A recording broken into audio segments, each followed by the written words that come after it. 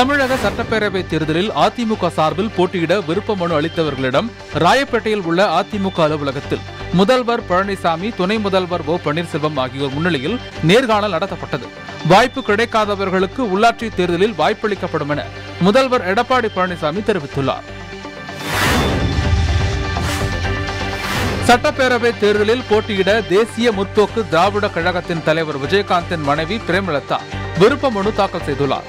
அவருடைய விருப்ப மனுவில் எந்த தொகுதியில் போட்டி என குறிப்பிடப்படவில்லை.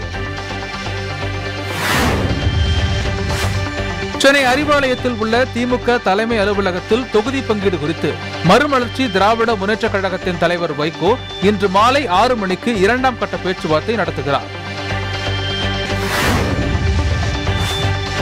திமுகவுடனான தொகுதி பங்கீட்டில் இதுவரை சாதகமான உடன்பாடு எட்டப்படவில்லை. இந்நிலையில் காங்கிரஸ் மேலிட பொறுப்பாளர் தினேஷ் குண்டுராவ் கட்சி நிர்வாகிகள் நடத்திய ஆலோசனைக் கூட்டத்தில் கமல்ஹாசனின் மக்கள் நீதி மையத்துடன் கூட்டணி வைக்கலாம் என பலர் கருத்து தெரிவித்துள்ளனர். திமுகவுடன் கொங்கு மக்கள் தேசிய கட்சி நடத்திய தொகுதி பங்கீடு பேச்சுவார்த்தையில் உடன்பாடு எட்டப்படவில்லை எனவும் மீண்டும் பேச்சுவார்த்தை நடைபெறும் எனவும் கட்சியின் பொதுச் செயலாளர் ஈஸ்வரன் தெரிவித்துள்ளார். திமுக உடனான தொகுதி பங்கீட்டில் இழுபறி நீடிக்கும் நிலையில் இந்திய கம்யூனிஸ்ட் கட்சியின் மாநில நிர்வாக குழு அவசர ஆலோசனைக் கூட்டம் நடத்துகிறது. அதிமுக பாரதிய ஜனதா கட்சி கூட்டணியில் நீடிப்பதா அல்லது விலகுவதா என்பது குறித்து கட்சி நிர்வாகிகளுடன் ஆலோசித்து முடிவெடுக்கப்படும் என என்ஆர் காங்கிரஸ் தலைவர் ரங்கசாமி தெரிவித்துள்ளார். ஈரோடு மாவட்டம் சத்தியமங்கலம் அரசு மருத்துவமனை மற்றும் வட்டார ஆரம்ப சுகாதார நிலையங்களில் தனி வார்டு அமைக்கப்பட்டு கோவாக்சின் தடுப்பூசி இலவசமாக போடப்படுகிறது. கிராம மக்கள் இலவசமாக தடுப்பூசி போட்டுக் கொள்வதற்கு ஆர்வம் காட்டி வருவதாகவும் பொதுமக்கள் நேரில் வந்து தங்களது பெயரை பதிவு செய்து தடுப்பூசி போட்டுக் கொள்ளலாம் எனவும் சத்தியமங்கலம் வட்டார அரசு ஆரம்ப சுகாதார நிலைய மருத்துவர்கள் தெரிவித்தனர். தேனி மாவட்டம் போடி அருகே உள்ள சுந்தரராஜபுரம் சிலமலை தம்மிநாயக்கன்பட்டி லட்சுமி நாயக்கன்பட்டி போன்ற கிராமங்களில் சாலை ஓரங்களிலும் ஊருக்குள்ளும் பயன்பாடற்ற பாழடைந்த கிணறுகள் உள்ளன. இதனால் சாலை ஓரங்களில் செல்லும் வாகன ஓட்டிகள் மற்றும் பொதுமக்கள் சிறுவர்கள் கால்நடைகள் கிணற்றுக்குள் விழுந்து உயிரிழக்கும் சம்பவம் அடிக்கடி நிகழ்வதாக தெரிகிறது. எனவே பயன்பாடின்றி உள்ள பாழடைந்த கிணறுகளை மூட நடவடிக்கை எடுக்க வேண்டும் என அப்பகுதி மக்கள் கோரிக்கை விடுத்துள்ளனர்.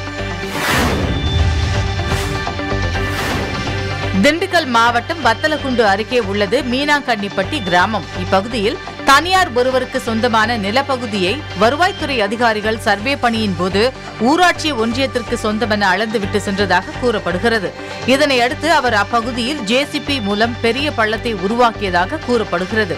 இதனால் அங்கு பெரும் பரபரப்பு ஏற்பட்டது. இச்சம்பவம் தொடர்பாக விராலிப்பட்டி ஊராட்சி மன்ற தலைவர் நாகராஜன் கொடுத்த புகாரின் பேரில் வத்தலகுண்டு போலீசார் விசாரணை மேற்கொண்டு வருகின்றனர். தேனி மாவட்டம் கம்பம் மேற்கு தொடர்ச்சி மலை அடிவார பகுதியில் அமைந்துள்ளது சுருளி அருவி. தற்போது இப்பகுதியில் முற்றிலும் நீர்வரத்து குறைந்து வெறும் பாறைகளுடன் காட்சியளிக்கிறது. இதனால் சுருளி அருவிக்கு வரும் சுற்றுலா பயணிகள் அருவியில் நீர்வரத்து இல்லாததால் மிகுந்த ஏமாற்றம் அடைந்துள்ளனர்.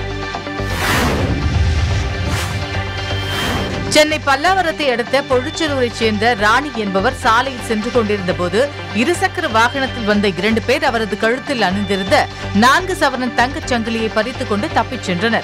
இந்த சம்பவம் தொடர்பாக கோகுல் தேவா ஆகிய இருவரை கைது செய்த போலீசார் நான்கு சவரன் செயின் செல்போன் ஆகியவற்றை பறிமுதல் செய்து புழல் சிறையில் அடைத்தனர். கிருஷ்ணகிரி மாவட்டம் ஊத்தங்கரையில் அச்சமங்கலம் கிராமத்தைச் சார்ந்த திலீப் குமார் என்ற கல்லூரி மாணவர் கத்தியால் குத்தப்பட்டு இறந்து கிடந்துள்ளார். இது தொடர்பாக அவருடைய நண்பர் செல்வகுமார் மணிகண்டன் ஆகியோரை போலீசார் கைது செய்தனர். போலீசாரின் விசாரணையில் செல்வகுமாரின் உறவுக்கார பெண்ணை திலீப் குமார் காதலித்து வந்ததாகவும் இதனால் ஆத்திரமடைந்த செல்வகுமார் திலீப் குமாரை மது அறந்து வரவழைத்து நண்பருடன் சேர்ந்து கொலை செய்ததும் தெரியவந்துள்ளது. திண்டுக்கல் பிரதான சாலையில் உள்ள வெள்ளை விநாயகர் கோவில் அருகே நள்ளிரவு நேரத்தில் திரிந்த ஐந்து மாடுகளை சரக்கு வேன் ஒன்றில் வந்த மூன்று பேர் ஏற்ற முயற்சி செய்தனர். அதில் ஒரு மாட்டை இரண்டு பேர் சேர்ந்து வேனில் ஏற்றிவிட்டு மற்றொரு மாட்டை ஏற்ற முயற்சி செய்தபோது ரோந்து சென்ற காவலர் ஒருவர் அங்கு வந்ததை அடுத்து மாடு திருடும் கும்பல் அங்கிருந்து வேனில் கிளம்பி சென்றுவிட்டது இந்த வீடியோ சமூக வலைதளங்களில் வைரலாகி வருகிறது.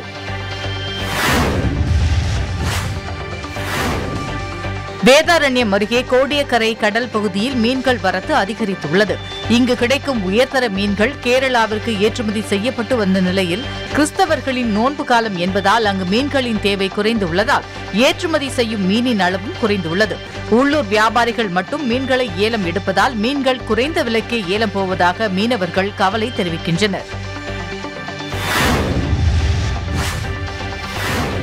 திண்டுக்கல் மாவட்டம் கொடைக்கானல் தோட்டக்கலை பண்ணையில் மூவாயிரத்திற்கும் மேற்பட்ட அவகோடா நாற்றுகள் உற்பத்தி செய்யப்பட்டு பராமரிக்கப்பட்டு வருகின்றன. உற்பத்தி செய்யப்பட்ட நாற்றுகள் கோடை மழைக்காலத்தில் நடும் வகையில் விவசாயிகளுக்கு கொடுக்கப்பட உள்ளதாகவும் அதன் பின்னர் நன்கு பராமரித்து தென்மேற்கு பருவமழை துவங்கும் காலத்தில் செழித்து வளரும் வண்ணம் திட்டமிடப்பட்டுள்ளதாகவும் பண்ணை நிர்வாகம் தெரிவித்துள்ளது. வரும் தமிழக சட்டமன்ற தேர்தலை முன்னிட்டு நூறு சதவிகித வாக்குப்பதிவை வலியுறுத்தி நாகை கப்பல் படை துறைமுகத்திலிருந்து அக்கரைப்பேட்டை மீன்பிடி இறங்குதளம் வரையில் மாவட்ட ஆட்சியர் நாயகர் மற்றும் அரசு அலுவலர்கள் கடலில் படகு மூலம் பயணித்து மீனவர்களிடம் துண்டு பிரசுரங்களை வழங்கினர். இந்நிகழ்ச்சியில் அரசு அலுவலர்கள் மீன்வள கல்லூரி மாணவர்கள் அக்கரைப்பேட்டை கீச்சாங்குப்பம் மீனவ பஞ்சாயத்தார் கலந்து கொண்டனர். ஸ்ரீவில்லிபுத்தூர் வன்னியருக்கு ஒதுக்கப்பட்ட உள் இடஒதுக்கீட்டை கண்டித்து முக்குளத்தோர் வீடுகளில் கருப்பு கொடி ஏற்றி போராட்டம் நடத்தினர். இதனால் அப்பகுதியில் பரபரப்பு ஏற்பட்டது. இந்த நிலையில் அப்பகுதியில் கண்காணிப்பை அதிகரித்து பதட்டத்தை குறைக்க காவல்துறையினர் சார்பில் அணிவகுப்பு நடத்தப்பட்டது.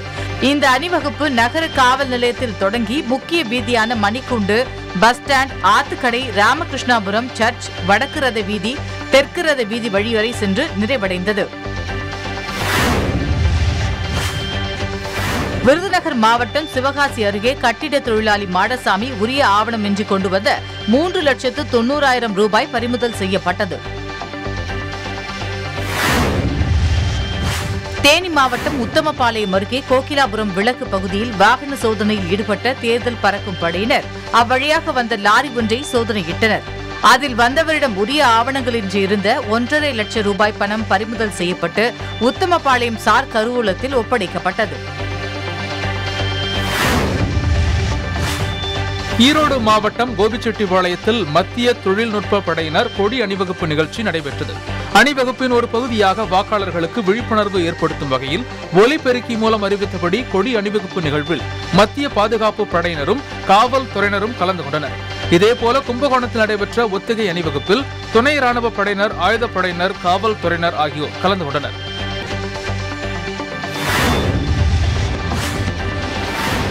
வருகிற தமிழக சட்டமன்ற தேர்தலையொட்டி ராசிபுரத்தில் துணை ராணுவ படையினர் கொடி அணிவகுப்பு நடத்தினர். சுமார் ஐந்து கிலோமீட்டர் வரை நடத்தப்பட்ட இந்த அணிவகுப்பில் மத்திய பாதுகாப்பு படையினர் மற்றும் போலீசார் கைகளில் துப்பாக்கிகளை ஏந்தியபடி அணிவகுத்து வந்தனர்.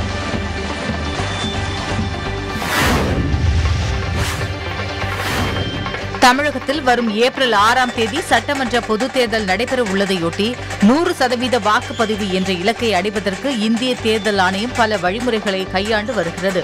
இதன் ஒரு பகுதியாக சிவகங்கை மாவட்டம் காரைக்குடி புதிய பேருந்து நிலையத்தில் வாக்காளர்களுக்கு விழிப்புணர்வு ஏற்படுத்தும் விதமாக சிறுவர் சிறுமியர்கள் தமிழகத்தின் பாரம்பரிய கலையான சிலம்பாட்டம் தப்பாட்டம் மூலம் விழிப்புணர்வை ஏற்படுத்தினர்.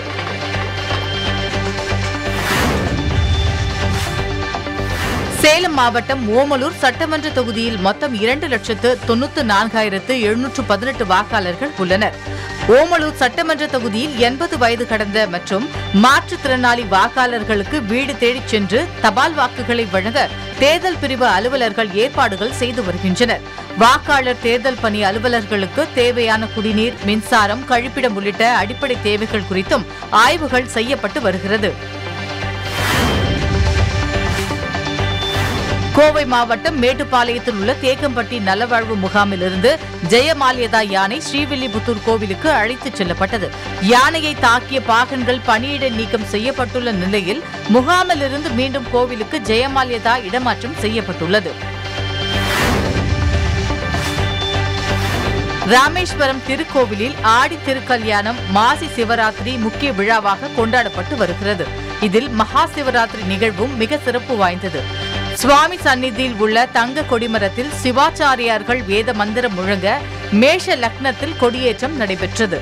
மகா சிவராத்திரி நிகழ்ச்சியில் பங்கேற்க நாட்டின் பல பகுதிகளில் இருந்தும் பக்தர்கள் ராமேஸ்வரத்தில் முகாமிட்டு உள்ளதால் பாதுகாப்பு ஏற்பாடுகள் மற்றும் அடிப்படை வசதிகளை துரிதப்படுத்த அதிகாரிகள் உத்தரவிட்டுள்ளனர்.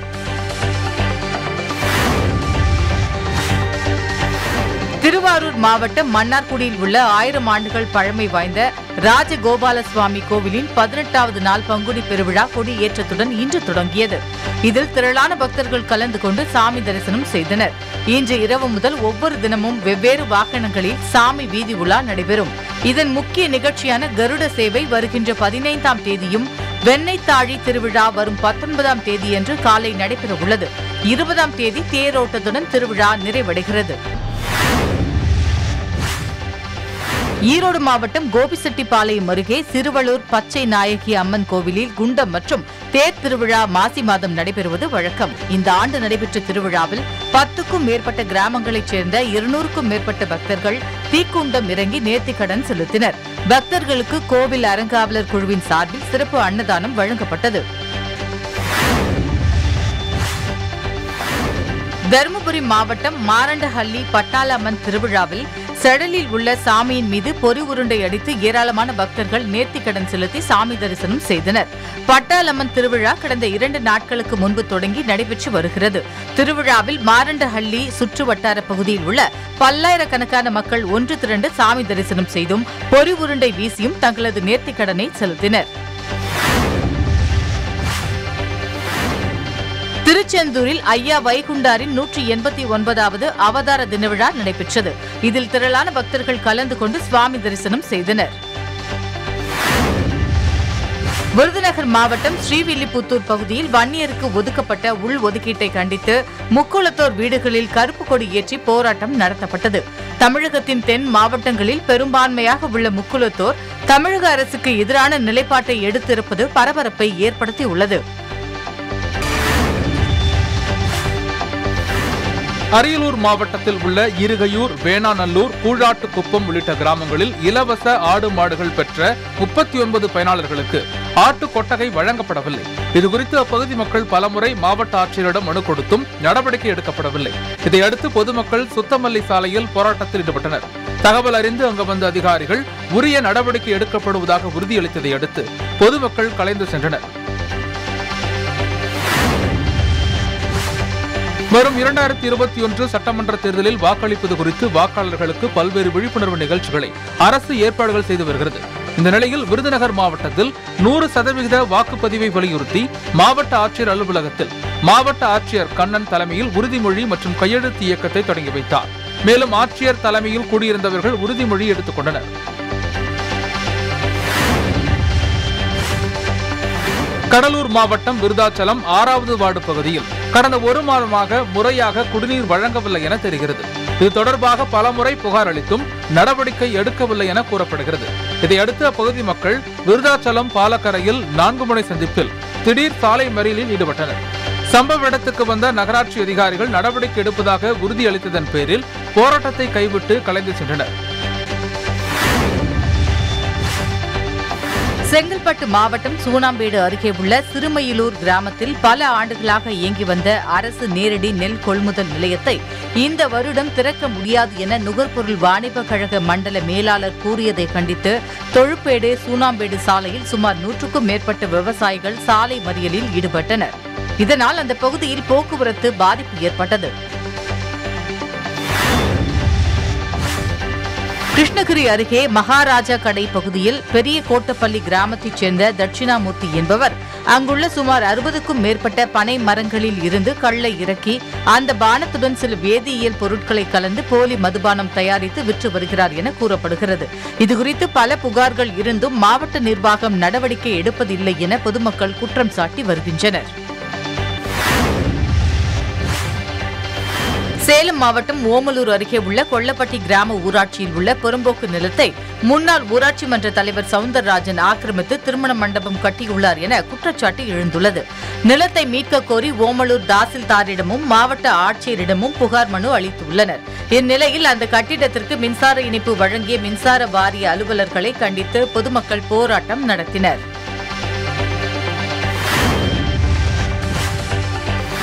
புதுக்கோட்டை மாவட்டம் அரிமளத்தில் சேதமடைந்த சாலையை சீரமைக்க வேண்டுமென பொதுமக்கள் சாலை மறியல் போராட்டத்தில் ஈடுபட்டனர். காவல்துறையினரும் அரிமளம் பேரூராட்சி செயல் அலுவலரும் சாலை அமைக்க நடவடிக்கை எடுக்கப்படும் என உறுதியளித்ததை அடுத்து போராட்டம் கைவிடப்பட்டது.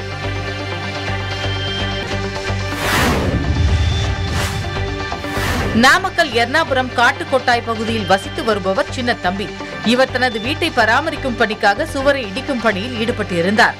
அப்போது எதிர்பாராத விதமாக சுவரின் ஒரு பகுதி சின்னத்தம்பியின் அருகில் இருந்த பூங்கொடி என்ற பெண் மற்றும் சிறுமி தேவஸ்ரீ ஆகியோர் மீது விழுந்தது. இதில் பூங்கொடி சிறுமி தேவஸ்ரீ சின்னத்தம்பி அடுத்தடுத்து உயிரிழந்தனர். இச்சம்பவம் குறித்து நள்ளிப்பாளையம் போலீசார் விசாரணை மேற்கொண்டு வருகின்றனர். வரும் சட்டமன்ற தேர்தலை முன்னிட்டு நீலகிரி மாவட்ட மூன்று சட்டமன்ற தொகுதிகளில் இரண்டாயிரத்து ஐநூறு காவல்துறையினர் தொன்னூறு பேர் கொண்ட மத்திய காவல் படையினர் தேர்தல் பாதுகாப்பு பணியில் ஈடுபடுத்தப்பட்டுள்ளனர். மேலும் அம்மாவட்டத்தில் மாவோயிஸ்ட் நடமாட்டம் உள்ள ஐம்பத்தோரு வாக்குச்சாவடி பகுதிகள் கண்டறியப்பட்டு அப்பகுதியிலும் கண்காணிப்பு அதிகப்படுத்தப்பட்டுள்ளது என நீலகிரி மாவட்ட காவல் கண்காணிப்பாளர் தெரிவித்துள்ளார். பனிரெண்டாம் வகுப்பு பொதுத் தேர்வு திட்டமிட்டபடி மே மூன்றாம் தேதி தொடங்கும் என்று மாவட்ட கல்வித்துறை அதிகாரிகளுக்கு தேர்வுத்துறை தகவல் தெரிவித்துள்ளது. ஆபரண தங்கத்தின் விலை முப்பத்து நான்காயிரம் ரூபாய்க்கும் கீழ் குறைந்துள்ளது. அதன்படி சென்னையில் ஆபரண தங்கத்தின் விலை கிராமிற்கு இருபத்தாறு ரூபாய் குறைந்து நான்காயிரத்து இருநூற்று முப்பத்தெட்டு ரூபாய்க்கு விற்பனையாகிறது. அதன்படி சவரனுக்கு இருநூற்று எட்டு ரூபாய் குறைந்து முப்பத்து மூன்றாயிரத்து தொள்ளாயிரத்து நான்கு ரூபாய்க்கு விற்பனை செய்யப்படுகிறது.